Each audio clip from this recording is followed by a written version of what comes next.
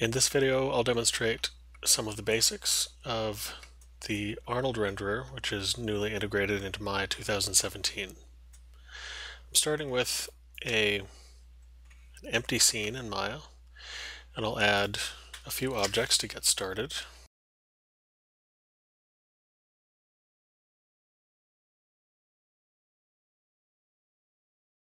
Now I want to make sure that the Arnold renderer is loaded from Windows, Setting Preferences, Plugin Manager. I'll scroll down and find the MtoA plugin. Make sure it's loaded and auto-loaded if you're going to use it continuously. And that should give you an Arnold menu, an Arnold shelf, and access to the Arnold renderer in the render settings. So I've chosen Arnold renderer as my current renderer and I'll try first I'll show the film gate so I can see what I ex should expect to render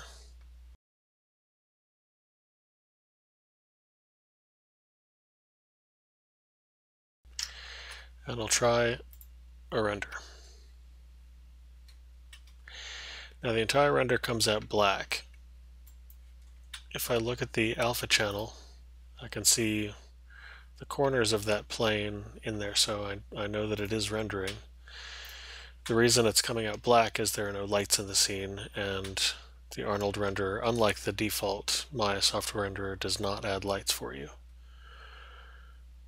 So if I add a light, I'll start with a directional light and turn on interactive lighting in the viewport.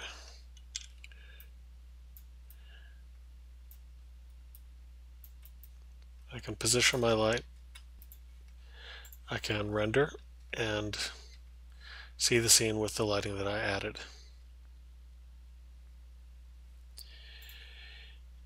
If on the other hand I added a light source like the point light, it will apparently behave a little bit differently. When I render, you can see that it looks very dark. There's a little bit of light on the sphere on the edge there. But if I move the light farther away from object, you'll see that it gets even darker. Now the reason for that, if I look in the attribute editor, is that Maya lights default to a decay rate of no decay, whereas Arnold lights have the option of constant decay or quadratic decay, and they default to quadratic. So for the, the viewport lighting to reflect what you will see in the render, you have to choose quadratic from the decay rate.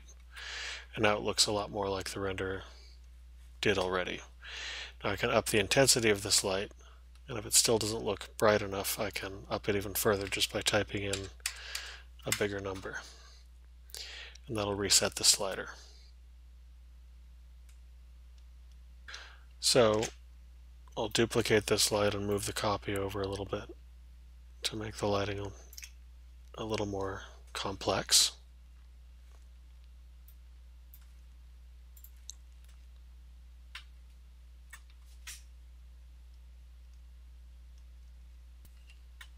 Now there are some other interesting things you can do with the Arnold renderer. One is the physical sky node, and it's easily found in the Arnold shelf. With the physical sky node, it creates a sky for you along with a sun, which you can enable or disable. And I can look at this in a new render, and you'll see that the sky ends at the horizon.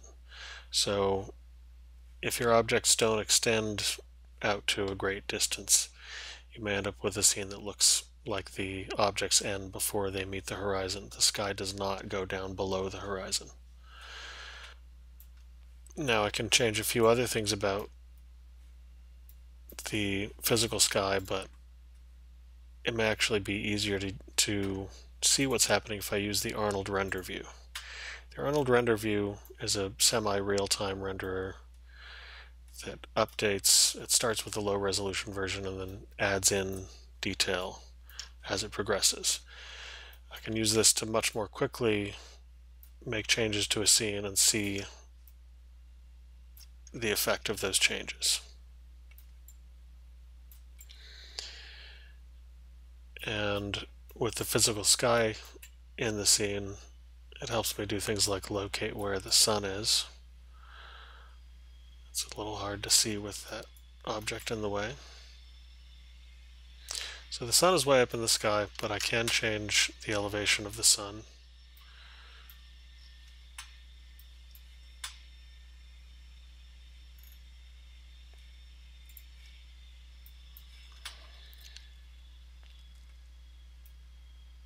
And as I change the elevation of the sun, you can see that the sky gets both darker and tints more towards yellow or orange. And it looks a bit like a sunrise or sunset.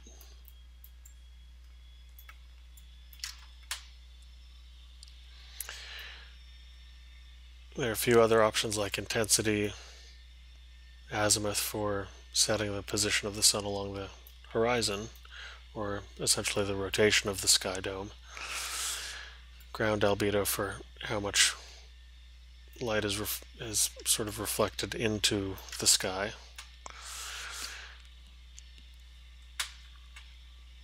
And I can change the color or tint of the sky if I want to make a really unusual sky. Now, the Arnold renderer also has some options for geometry. One of the things it can do is change the, using the Arnold translator option, I can change this to a mesh light, in which case the mesh appears to not render at all unless I either up the intensity or exposure of it, in which case I start to see input from that mesh as a light source in the scene.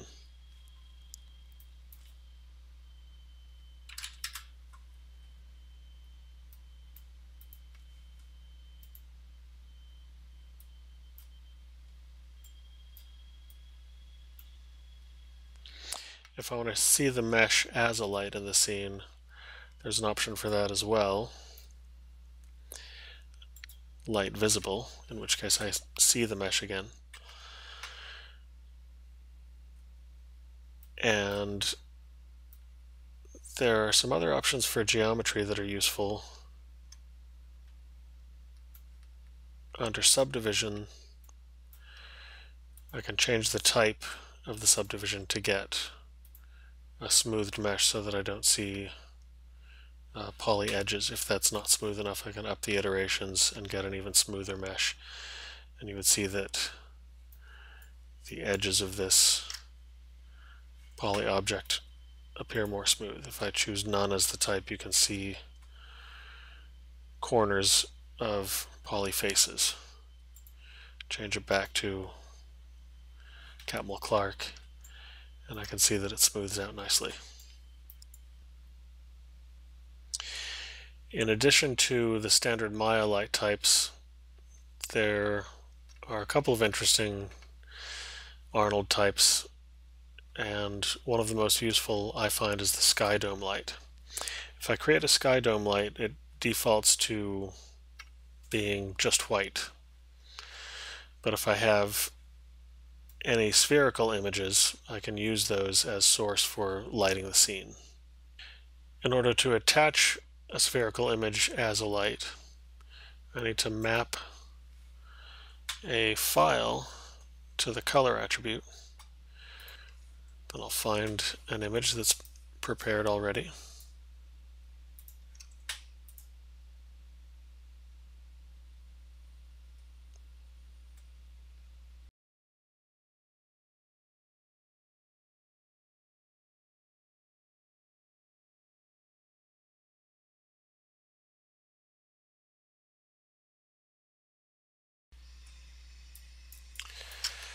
And you can see that after I've deleted the lights and allow this to render only using the uh, sky dome image. I, I get a much more interesting, much more complex result because this is based on a photographic capture of a spherical scene.